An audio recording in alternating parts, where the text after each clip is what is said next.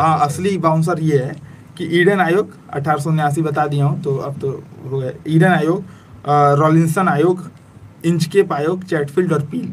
पील सबसे पहले? हाँ। सबसे इजी अठारह सौ में। हाँ। और रॉलिंसन समिति 1917 में। हम्म, ईडन अठारह बताई है। हम्म, अब बचा क्या? Inchcape Chatfield. चैटफील्ड कर लीजिए पील के बाद।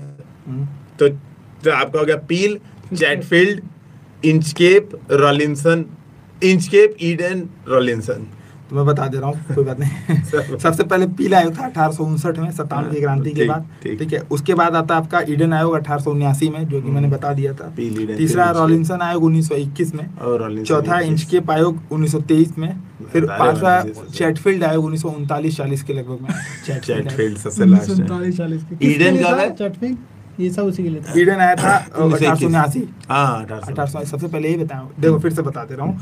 पील आयोग था अठारह सौ उनसठ फिर ईडन आयोग था अठारह सौ उन्यासी हम्म। रॉलिंसन था उन्नीस सौ इक्कीस इंचकेप था 1923 और चैटफील्ड था 1939